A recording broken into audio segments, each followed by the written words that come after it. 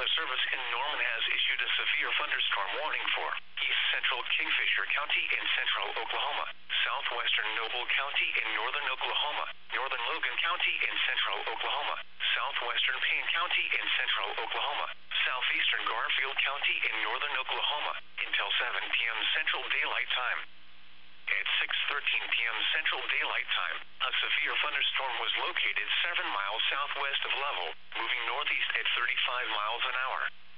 Expected hazards include 70 miles an hour wind gusts and ping pong ball size hail. This is a radar indicated threat. The following impacts are expected. People and animals outdoors will be injured.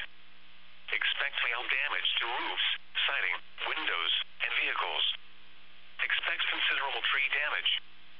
Wind damage is also likely to mobile homes, roofs, and outbuildings. Locations impacted include Langston, Crescent, Mulhall, Orlando, and Lovell. Remain alert for a possible tornado. Tornadoes can develop quickly from severe thunderstorms. If you spot a tornado, go at once into the basement or small central room in a sturdy structure.